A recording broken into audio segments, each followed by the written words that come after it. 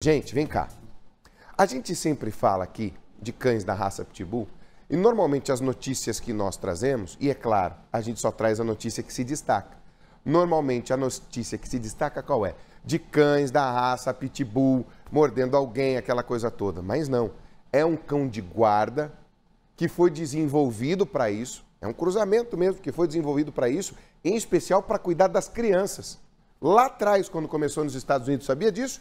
era para cuidar da molecada contra ataques de lobos no oeste americano.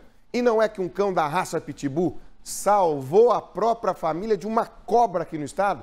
O animal percebeu o perigo e começou a fazer aquela confusão. Essa serpente estava tentando entrar na casa. Quando o cachorro começou a latir e chamou a atenção dos moradores. Espera aí, tinha alguma coisa errada. Olha o tamanho da cobra aqui, gente. Põe no ar. O vídeo feito pelos moradores mostra a cobra, uma cascavel de cerca de um metro, sendo capturada por uma equipe do Corpo de Bombeiros. O militar agarra a cobra usando um pegador e a coloca dentro de uma caixa de madeira. A cobra foi encontrada nessa casa, que fica no Jardim Itália, em Sarandi. Estava nesse ponto, indo em direção à sala. Só não foi porque no meio do caminho estava o Bud, um pitbull de três anos, que acabou alertando os moradores, o Hugo e a Amabile, que vivem aqui há dois anos foi meio assustador, porque nunca tinha acontecido aqui no, né, com, com a gente. É, eu estava ali no, na sala e o meu cachorro entrou para dentro e começou a chorar da porta.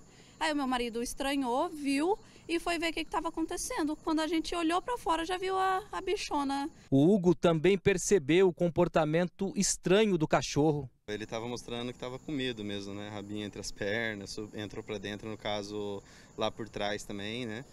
Aí a gente foi dar uma olhada no quintal para ver o que, que tinha que estava assustando ele e ela estava bem ali na frente mesmo. Na frente da casa tem um mato com um córrego na baixada. Tudo indica que a cascavel tenha vindo daqui. O casal diz que vai redobrar as atenções. Colocar a tela com o bebê vindo ainda, né? Colocar a tela em tudo aí para, né? não passar mais sufoco. E sorte, o Bud impediu que a cobra entrasse na residência. Além de ser muito companheiro aí, ele consegue avisar a gente de qualquer perigo que tenha no quintal. Bud, você salvou a família inteira, principalmente criança, né? Rapaz do céu, olha o tamanho dessa cascavel. É o suficiente para matar uma pessoa, uma picada de um bicho desse tamanho aí. Quer ver só? Uma história que veio do Mato Grosso. Uma agente penal lá foi picada por uma jararaca. Não deu tempo de chegar ao soro antiofídico a ela. Ontem isso aconteceu essa agente penitenciária lá do Mato Grosso acabou morrendo. É para mostrar para você que o perigo, ele é real. Uma picada de uma serpente dessa pode matar. O Bud foi o herói do dia. E sim, é bom para a gente discutir e falar de cães de guarda. Que eles, na verdade, quando bem criados, nada mais são do que companheiros por uma vida inteira e para o ser humano não representam risco, né? Vai da criação tem a índole do animal? Claro que tem, mas muito de como ele é criado, né? Olha aí, eu me arrepio de ver esse bicho até pela televisão. Não, vou te falar a verdade, rapaz. Quando eu vejo esses animais assim, peçonhentos na televisão, não parece que eles estão do lado da gente? Você que está aí no sofá agora, vocês não se mexeu?